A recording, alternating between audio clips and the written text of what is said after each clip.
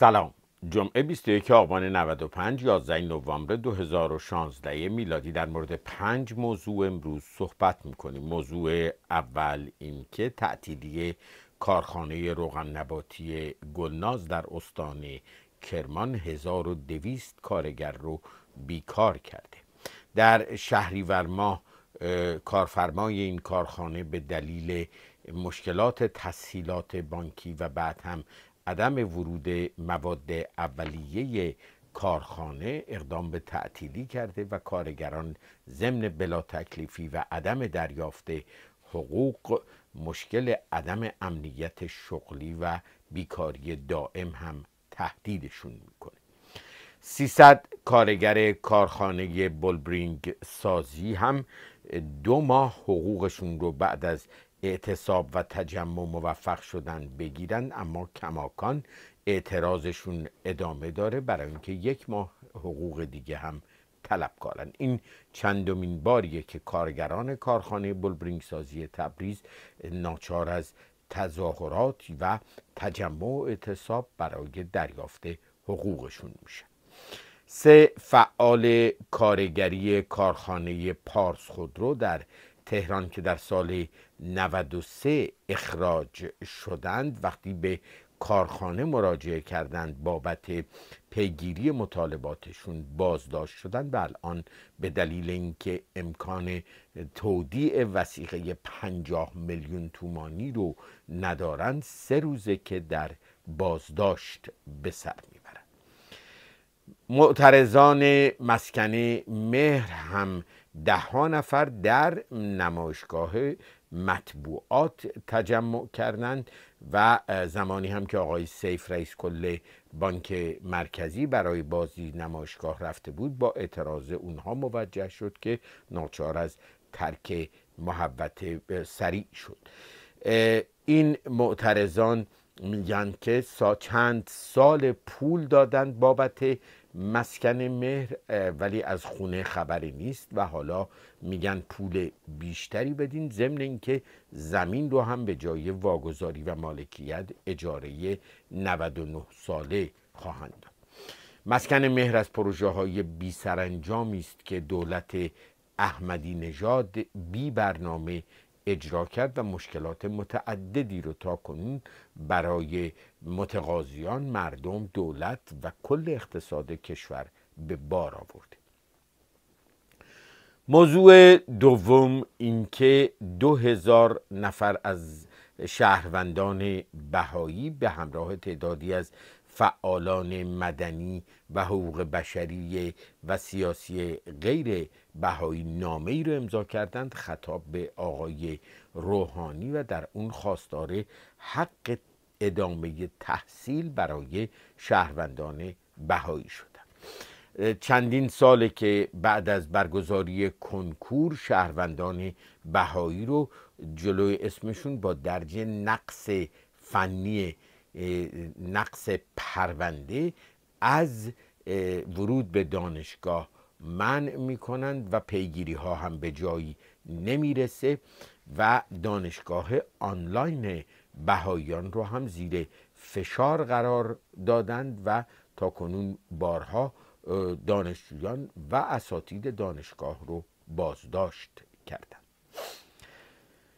سازمان عفو بین الملل همراه با گروهی از موسیقیدانان ایرانی گروه کیوسک کمپینی رو آغاز کردند. هشتگ آزادی برای آزادی هنرمندان رو ارائه کردند. خواستند که به این کمپین بپیوندند برای آزادی برادران رجبیان و دیگر هنرمندان زندانی در ایران.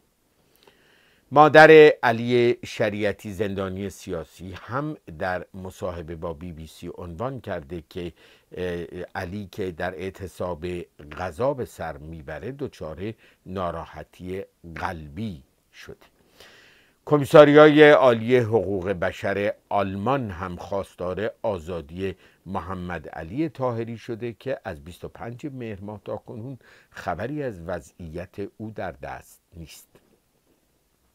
محمد نظری زندانی سیاسی اهل بوکان که 23 سال در زندان به سر می‌بره و از مرخصی هم حتی محروم بوده با دخالت وزارت اطلاعات نه امکان استفاده از مرخصی استعلاجی داره که به مشکل قلبی دچار شده و نیازمند آنژیوگرافی است و نه حتی اجازه میدن او منتقل بشه از زندان رجای شهر به زندان اورمیه و ضمن اینکه او که به حبس ابد محکوم شده الان از شرایط آزادی مشروط برقرار بعد از 23 سال که با دخالت وزارت اطلاعات مانع میشه.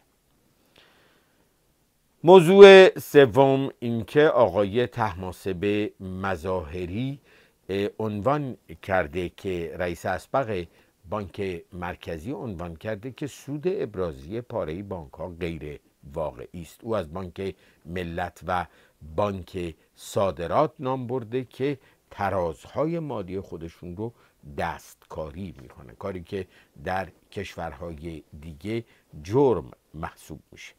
وزیر بهداشت تایید کرده که سرقت علمی صورت گرفته.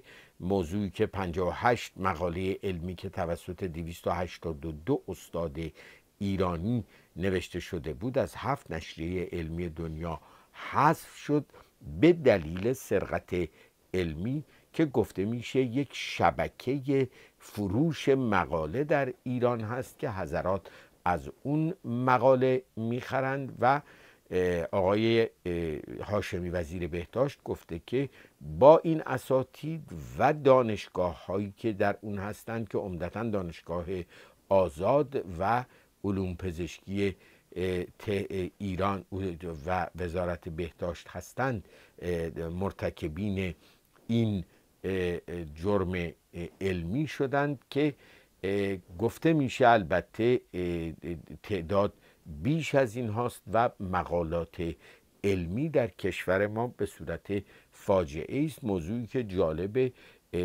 بارها مورد استناد آقای خامنه ای قرار گرفته به عنوان رشد علمی و پیشرفت علمی کشور. شورای نگهبان هم دوباره با کاهش اختیارات خودش مخالفت کرد. قانونی که اختیار شورای نگهبان رو محدود می‌کنه به بررسی صلاحیت ها در زمان انتخابات ریاست انتخابات. شورای نگهبان اصرار داره که به بعد از انتخابات هم باید سرایت بکنه. دو بار تالا دست به دست شده بین مجلس و شورای نگهبان و به احتمال زیاد به شورای تشخیص مسلحت نظام خواهد رفت. موضوعی که تکلیف خانم مینو خالقی منتخب اصفهان رو هم باید بتواند معلوم کند. اما موضوع چهارم اینکه سازمان ملل و سازمان عفو بین الملل گزارش کردند که داعش در موسل دست کم چهل شهروند غیر نظامی رو تا کنون شکنجه کرده و کشته. در امریکا هم بحث داغ محافل واشنگتن بحث همکاران آقای ترامپ هستش به خصوص وزرای کلیدی مثل وزیر خارجه و وزیر دفاع که صحبت از همکاران تندروی مثل آقای نیوت گینگریچ یا جان بولتون هست و در سوی دیگه هم افراد میان روتری مثل استیو هتلی یا آقای باب کورکر مطرح. حال این گمان زنی ها که در محافل خبری و سیاسی امریکا مطرحه تا چند روز آینده ادامه خواهد داشت تا اینکه معلوم بشه رئیس جمهور چه کسانی رو خواهد گذاشت. در امریکا رئیس جمهور تقریبا بعد از انتخاب حدود چهار هزار انتصاب رو صورت خواهد داد. اما موضوع آخر اینکه جناب حیدر مسلحی وزیر سابق اطلاعات فرمودند که جنگ ترامپ و کلینتون غیر واقعی بود. انتخاب ترامپ پشت صحنه داره. ضمنا ایشون حتی گفته که عملیات تروریستی در فرانسه هم کار آمریکا بوده و آمریکا می‌خواست فرانسه رو در مذاکرات هسته‌ای سر جای خودش بنشونه. انصافا این آقای مسلحی شاگرد اول آقای خامنه است که همه دنیا رو ایشون تا نتیجه توطعه یک عده در پشت پرده و یک هیئت مدیره یهودی و سهیونیستی دنیا می‌دونه. اندک صبر سحر نزدیک است تا فردا شاد پیروز. موفق و سرفراز باشید. به امید پیروزی ایران و ایرانی.